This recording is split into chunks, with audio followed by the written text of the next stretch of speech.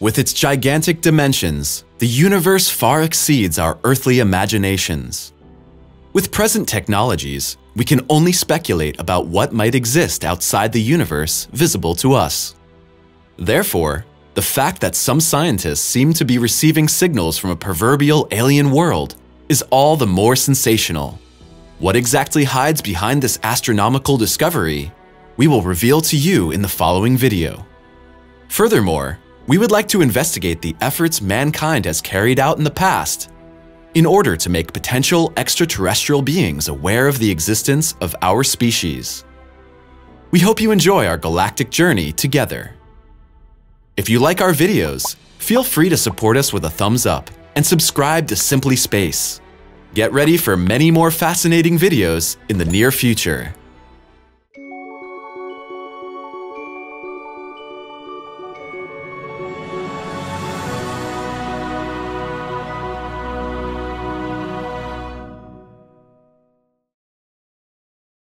Exploring Tau Boötes. In the recent past, an announcement from the world of astronomy made big headlines among the ranks of experts. Researchers reported that they may have been receiving radio emissions from a distant planet that is making its orbits around a fixed star outside our home solar system. Over the course of their work, the scientists made use of a state-of-the-art radio telescope located in the Netherlands. The object of the scientific probe were three different stars, which experts already suspected in advance served as central fixed points for some exoplanets. It didn't take long before one of the three star systems aroused the special interest of experts. That system, christened Tau Boötes, left no doubt that it does indeed contain a planet. Scientists consider it very probable that the radio signals they registered in the context of their research originated from exactly that far distant planet.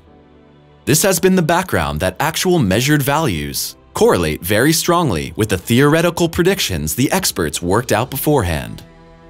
American Jake Turner, in his position as a renowned astronomer at Cornell University, limited the growing euphoria about the sensational discovery in the same breath he revealed it. The expert involved in the research stated that scientists currently cannot say with 100% accuracy whether the received signals are actually emitted by the planet of the observed star system. According to him, it is therefore essential that the star system and the celestial body named Tau Boötes b be studied in more detail. Preparations for the research project. To prepare for the investigation of the star system, which is about 51 light-years away from our blue home planet, astronomers used an ingenious trick. They first examined the radio emissions of the planet Jupiter. And then, the measurement results and values obtained were modified in such a way that they could be transferred to a distant exoplanet with a remote fixed star. Those transferable results were then compared with the values obtained by experts during the investigation of Tau Boötes b. The received radio emissions of this celestial body could not be the only provable radio signals of an exoplanet in the history of astronomical research. Accordingly, experts consider it possible that they could have received signals from the star Upsilon Andromedae or its planet. However, since the corresponding readings were even weaker and more vague than in the case of Tau Boötes b, scientists are still exercising cautious restraint for the time being before the phenomenon is examined in more detail. Why the study of radio waves is so important. At this point, the question could arise why the investigation of radio waves of strange planets enjoys such an unusual esteem in the world of astronomical research. This is because measured values of such a kind can help scientists to draw a more precise picture of the structural condition of exoplanets and their direct environment.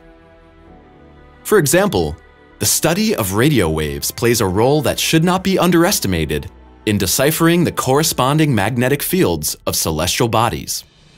The intensity of the magnetic fields, in turn, has a direct influence on the prevailing conditions on the planets themselves. As a reminder, the magnetic field of our Earth serves to protect our atmosphere, without which, as we know, life could not have formed on our home planet. However, for modern science, the direct study of magnetic fields of distant celestial bodies is still quite complicated. For this reason, the particular focus of researchers is on studying radio emissions, which, as briefly mentioned above, will allow them to build a scientific bridge to the nature and intensity of magnetic fields. It'll probably be some time before experts can say with certainty where the radio signals actually come from. However, if the theory that the collected data actually originate from Tau Boötes b proves to be true, this would be tantamount to an astronomical Big Bang. Never before have scientists succeeded in recording radio emissions from exoplanets. We're curious to see what the results of the continuous investigations will bring in the future. While we've now dealt with which signals of foreign planets we could possibly collect on Earth, we would like to turn the galactic tables at this point. We will now look at the efforts representatives of mankind have already made in order to make potential life forms in the infinite expanses of the universe aware of the existence of our species. The Arecibo Message It is November 16, 1974, when a few scientists, under the care of astrophysicist Frank Drake, launch what is still a unique endeavor to this day as part of the so-called Arecibo message, named after the location of its starting point, the Arecibo Observatory in Puerto Rico, experts took the potentially foolhardy step of transmitting a terrestrial message to possible alien life forms in the universe. Using radio waves, experts wanted to give the aliens some information about humanity's way of life and background, as well as about the Earth itself.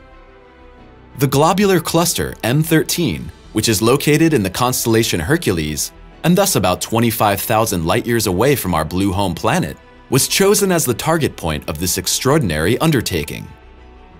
Since there are more than 300,000 individual stars within this gigantic globular cluster, the experts of the time hoped to find an inhabited celestial body in the midst of such a densely populated space. At its core, the Arecibo message contained various binary codes and consisted of a total of 1,679 bits. However, this method of transmission required the potential recipient to have a sound knowledge of mathematics. Thus, the aliens would not have been able to comprehend the message sent by Earth at first glance, but would have had to first break down the received code into its prime factors and then rearrange it in image form. But what information about humanity, our state of knowledge, and about our planet itself did the experts choose? the content of the Arecibo message. The first paragraph of the Arecibo message dealt with the numbers from 1 to 10, common knowledge for us. With the help of differently colored squares, the aliens were thus to be taught the basic rules of the simplest numeric sequences. The next section of this unique message dealt with chemical elements. Thus, the contained number sequence 167815 stood for the chemical materials hydrogen, carbon, oxygen, as well as phosphorus. The background here was that the aforementioned elements represent enormously important components of our planetary biochemistry and also describe those materials that form human DNA. While the following paragraph dealt with nucleotides, or in other words, the detailed building blocks of our DNA, the fourth paragraph dealt with the structure of our genetic material. The first paragraphs of the Arecibo message thus provided a quite comprehensive first impression of the biochemical nature of our species, and the following passage made a bow to human anatomy. Here, the average shape of an adult person was conveyed in the rough sketches. In addition, the corresponding section contained information about the total number of the world's population. Afterwards, the aliens could look at a diagram of our solar system, on which the individual planets, as well as the Sun, in their approximate size relations and distances were represented. Last but not least, researchers decided to reveal some information about the Arecibo Observatory and its technical equipment. Responses and criticism. Although astronomers placed great hopes in their extraordinary undertaking, we have yet to receive an answer to our terrestrial message to this day. If one follows the statements of some experts, the efforts of scientists were doomed to failure from the beginning anyway, even if the message had been received by extraterrestrial life forms. On the one hand, there was criticism about the comprehensibility of the Arecibo message. It might simply have been too difficult for extraterrestrials to decode such a message of mathematical procedures. In addition, the Arecibo message would have had to have been received in its entirety. If some bits of our terrestrial message were lost along the journey, the human call to the universe would not have been comprehensible. Apart from this objective criticism of the Arecibo message, however, voices were also raised expressing great concern about the content of the message addressed to extraterrestrials. If the comprehensive information about our species and our home planet were to fall into the hands of hostile aliens, it would be all too easy for aliens to identify potential weak points and attack the Earth. Fortunately, the alien invasion has so far failed to materialize. What do you think about our video? Feel free to write us your feedback in the comments. See you next time.